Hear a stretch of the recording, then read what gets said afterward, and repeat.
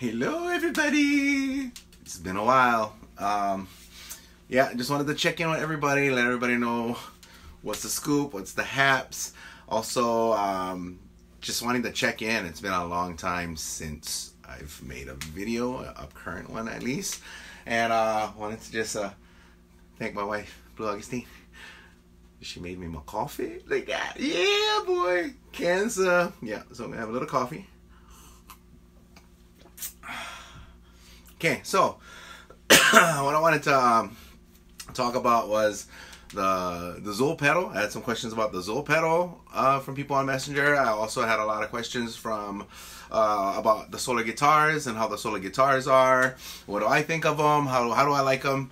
Um, are they balanced? How do they feel? How's the neck? How's the Evertune? Um, also wanting to just play a little little bit of a song that's gonna be coming out uh, shortly. You know, got the compilation with uh, Dustin Stone. That's done. I'm waiting for Mr. John Bjork to finish his solo in that that that little that little rendition of a comp, and then I have other comps to work on um, in the world with all of you. Uh, I'm gonna be also um, uh, on my solar. What is different about my solar from the rest of your solar guitars is my pickups are custom made uh, by Larry Pollock from Aero Instrument. This is Wicked 1 and Wicked 2. These are ebony wood caps on my pickups. And um, this is my awesome Evertune bridge, which I forgot to tag. And uh, yeah, so what we're going to do is uh, I got my amp set up. Um, I didn't even send it out yet. It's going out this week, I promise. Uh, and uh, what I have it set through, my Augustine is going to a THD uh, hot plate, going into uh, instrument tuner for the bypass for the Mike Fortin Zuul pedal, which goes into a baby mini green tube screamer, then goes into the amp. And uh, I'll play a little bit, okay? And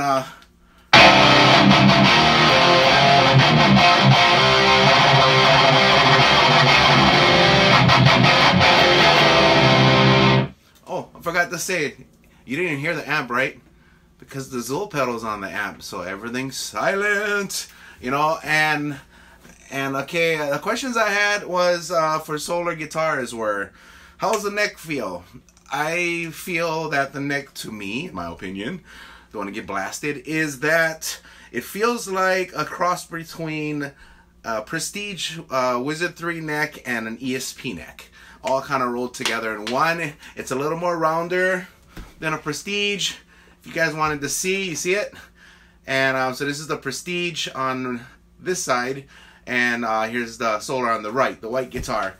And um, it's a little more rounder. It has a nice little little grip on it, you know, so it feels fast still yet.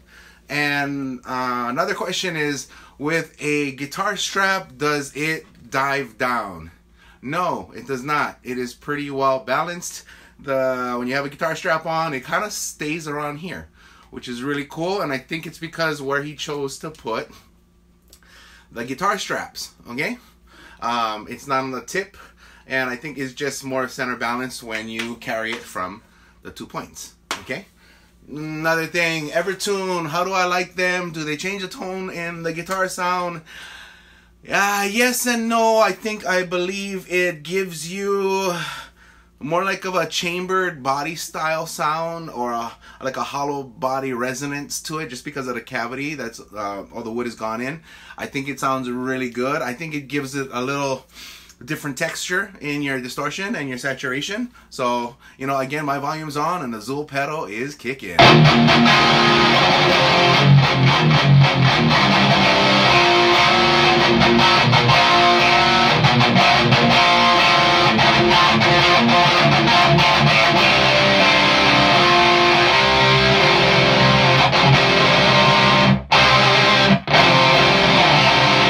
Okay, so uh, another question. Evertune.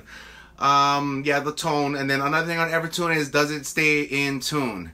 Yes, it does. Once you get it set and dialed into what you want it to be, um, as far as string gauge, uh, tension, and tuning, I think you can dial it in really well. So um, you just got to follow the procedures, find zone two, do your tuning, then set it right before zone two and zone three to give you the little squiggly.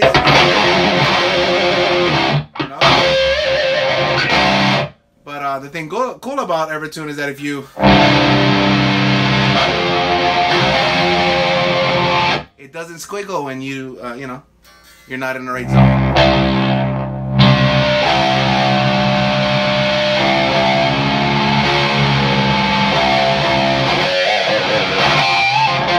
Okay, and um, what else? Questions? Questions that I had. Um, what is the quality that uh, solar guitars come with? What do I think the quality is on the guitar? Honestly, I've been in Ibanez my whole life, and honestly, how I feel about the solars is that though it is not made by Japan luthiers, the quality is very identical to a Prestige series Ibanez. Um, maybe talking back in the early 2000s, um, Ibanez Prestige was actually a more high quality built instrument. Um, there was no flaws on the instrument, uh, but some of the I, I bought a couple of Prestiges uh, in the past year, and I noticed a lot of inconsistencies in the build quality, which I never had before in the uh, the 90s and the early 2000s. And damn, I'm showing my age. So. Uh, back then, when you brought a Prestige, it was perfect out the gate every single time. But um, now it seems just more like um, just to get it out there anymore, you know. And if you want a high quality instrument now, you got to go into Team J Craft, or you got to go into the um, they have yeah the J Craft series, which is usually for uh, a seven string is about four grand, you know, and a six string is about three thousand dollars to a high two thousand dollar range. But you know, um, for the price, the solar guitars are probably the best deal you're gonna get on an instrument that has the same quality of a Prestige made in Japan by Luthier guitar. So, my opinion, uh, Ibanez guys don't hate me. I still love my Ibanez. There's nothing wrong with Ibanez, but for solar to come out into the market and the world right now, you gotta give them their props, man. Hola, yahoo! You did it. Um, killer guitar. I still love my white one. I love my artist one. I'm having issues with finding pickups that I want on it, and um, I still got my my mahogany one too. And honestly, Ola, it's hard to keep up with you because you build really nice guitars like every three months. And it's a new model and it's a new model. And it's like man i can't i can't buy five guitars a year ola.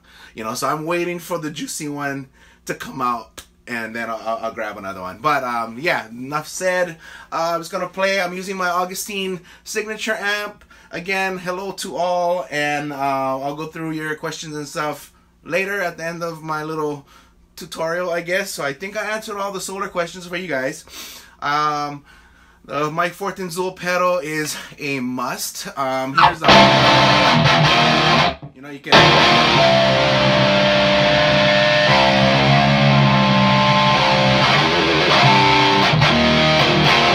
When you cut it out real quick, it disappears. But without the pedal on, you hear the noise of the amp.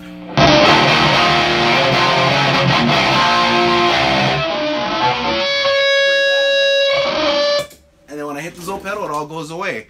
It's only because of the fact that I'm in my studio, a lot of computers, a lot of other amps plugged into the wall, LED lighting, it all going to affect your amps. So in this room, my live amps are actually the worst sounding. In the live room, my amp sounds super quiet. They don't make as much noise as it does in this particular room, which is sad because I have to run my cabinets to the live room just to play it without the noise. Or you go buy a Fortin Zuul pedal and I mean you hear that right? It's silent, and then when I hit it, and it's gone.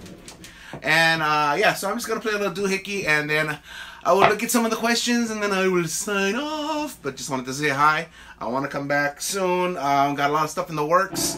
Got uh, a lot of cool stuff coming. So here we go. What are we gonna do? Okay, so.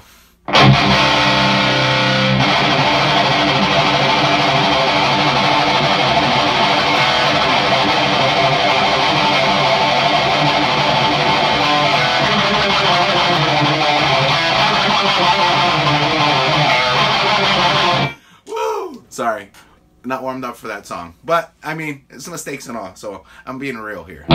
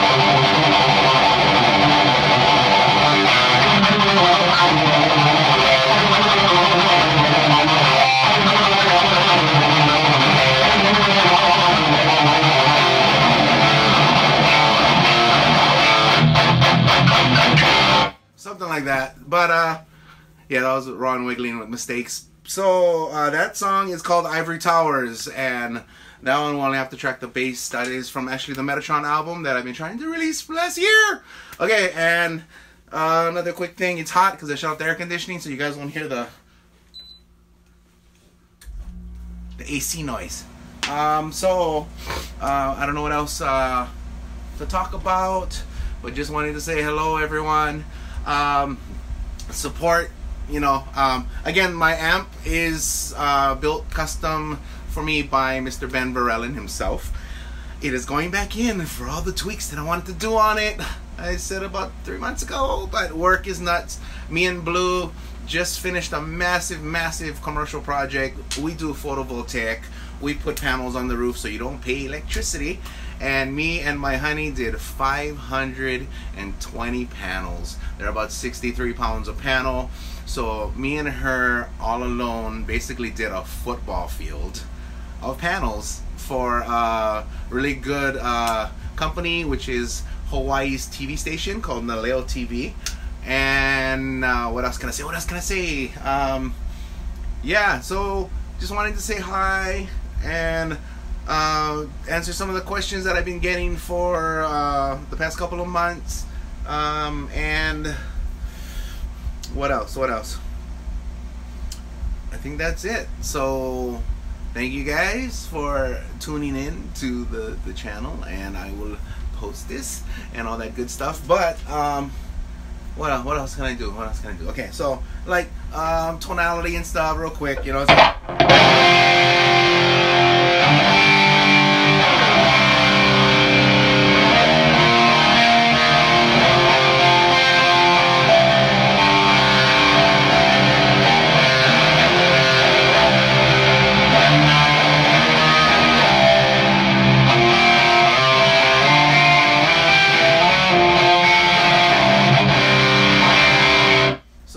A good pickup, a good amp, you should be able to kind of hear all the notes when you strum. You know.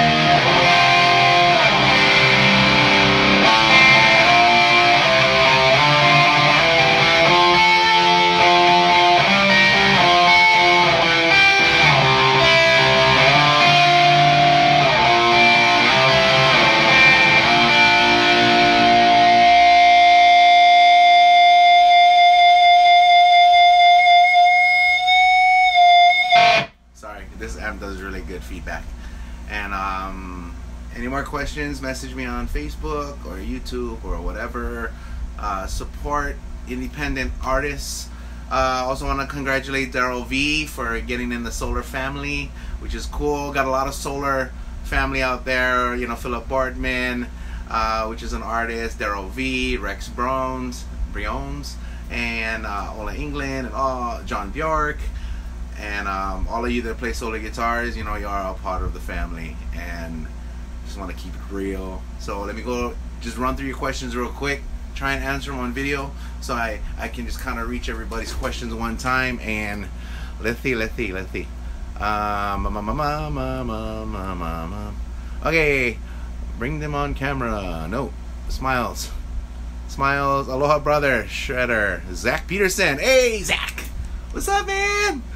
This guy Zach Peterson is a phenomenal guitar player. He, I don't know if he still has, but he has a, a shop called Hot Lick Guitars. with cool vintage Les Pauls and amps, and he has a Mark III Coliseum, which I wanted to buy. But uh, yeah, right on Zach. What's up, Shredder? You the Shredder, man. I'm just a rhythm guitar player. Jr. What's up? Thumbs up. Um, Nick, what's up, man? And um, uh, goddamn, that amp is sexy. Carrie West, what's up, Carrie? Thank you. I love it. It's a core faceplate in the front with a little black mirror going on for the Augustine. And I believe the sides and the, the, the cabinet is out of oak. All right. And it is stained black. Ciao, Mario and Sano. Ciao. Aloha.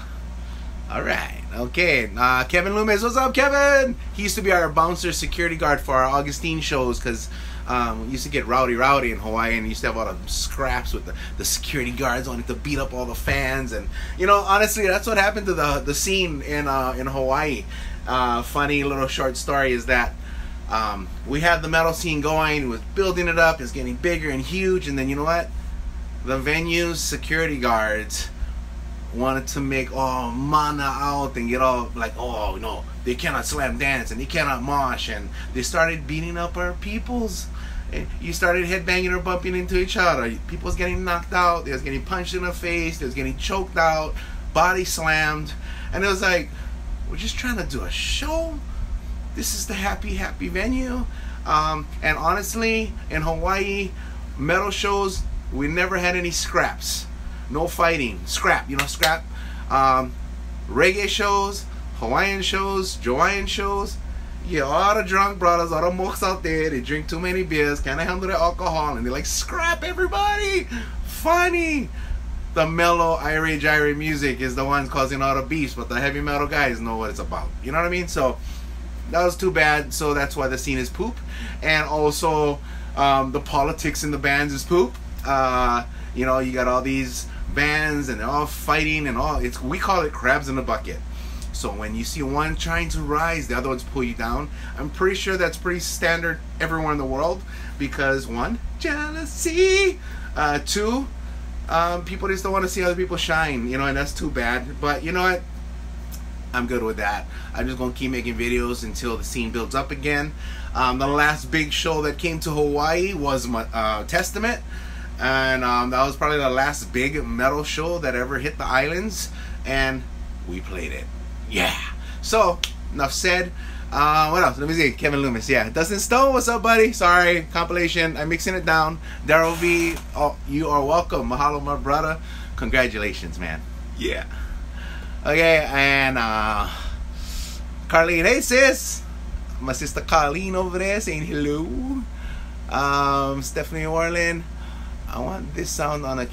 Oh, I do have this on my Kemper, but it's of this version of the amp where there is things on the amp that I haven't done and corrected and fixed um, before I actually do uh, real Kemper profiles on it and probably sell it because there's no amp like this on the world. And I took three of my favorite amps, which is a uh, the Mesa Boogie Mark III, the Rivera 1991 TBR, and the Marshall um, the TSL and I kind of crammed them all together. The features and the options that I wanted from all the amps I trying to design into one amp. So that those profiles when I get this back will probably be for sale um, and but this version of it I might be willing to just email it to people. I'm not sure yet I'm thinking about it. I just I know there's things that can be corrected on it and I don't want a bad impression off the back with people on the profiles. So I'll think about that one what else? Rex, what's up? Good stuff. Yes, good stuff. Good stuff. And um, Mark Sweeney, what's up, brother? Yeah. So what's up, Mark? Um, I also am endorsed with Sweeney Guitars. I gotta put all these plugs in there, but I keep uh, you know forgetting.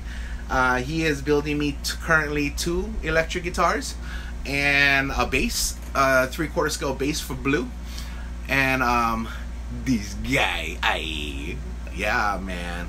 Um, so uh, yeah, Mark, thank you. Mark also makes crazy picks. We still gotta dial in mine um, perfectly. I I have the shape. I just need something that can withstand the heat and the melting and the shredding of the shredding. You know, the shredding. Let me see.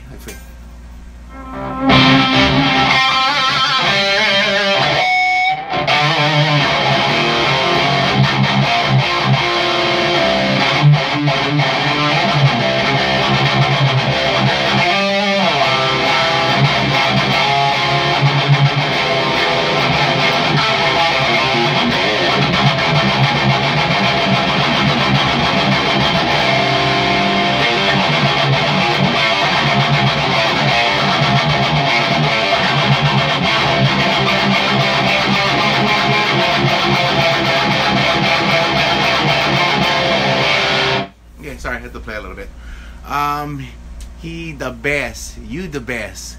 Keep on, brother. Yep, yep. So, um, yeah, just wanted to take this time out.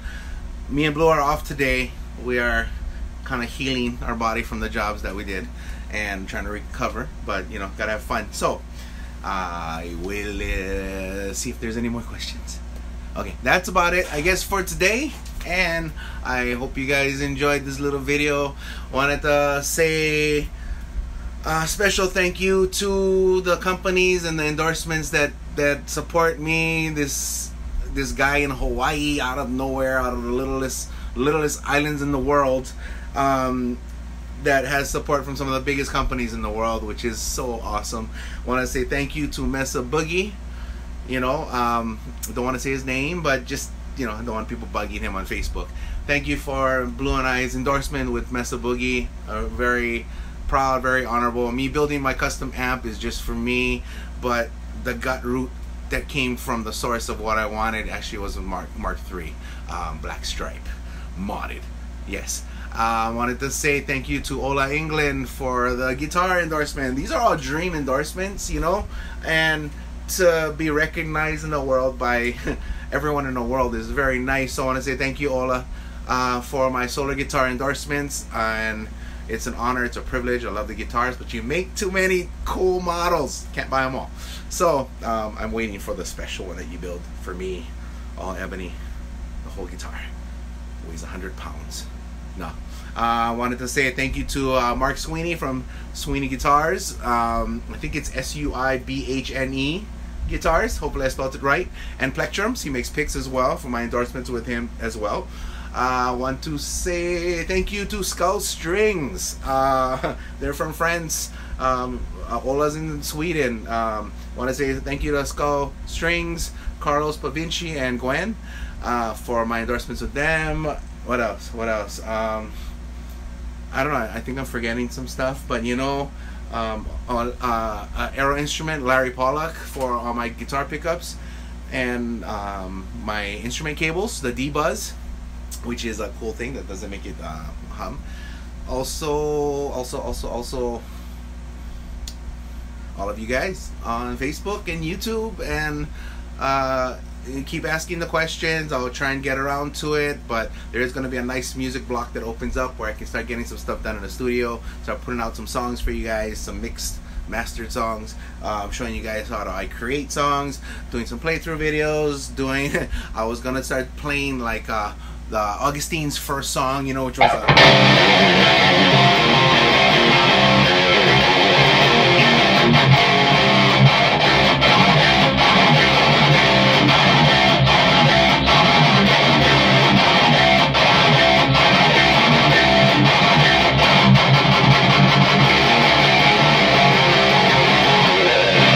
you know, I was gonna probably go through every song that Augustine did and just do a guitar playthrough and even do maybe a guitar tutorial. Um, some people that either want to try and uh, learn how I do the songs correctly. And um, the next one would be no go mix lol get it boy. I know I gotta mix Dustin. I'm waiting I'm waiting for John Bjork solo. And um, you know a lot of what I do rhythmically I'm not a lead guitar player guys. Get used to it get real Okay, uh, I'm a rhythm guitar player. Um, I let other people do the lead stuff because that's what they're good at. I like to create rhythm, groove, heavy riffs, and fast technical stuff. Um, uh, Augustine's riffs are basically uh, everything kind of comes from your ring finger being your strongest finger, so you can go go back. You know, your fingers, you know, and all of them get really good, but a lot of it is uh, ring and pinky. You want those strong, okay? So work on your weak fingers. But yeah, I might do some kind of video like that as well. But thank you guys for taking your time. Uh, uh, uh, Just feel like I'm forgetting some endorsement people. I'm very sorry uh, for forgot. But um, thank you guys. Ciao, Bella. Awesome. I'm out. Where's the button? Where's the finish button? I'm gonna see you guys later.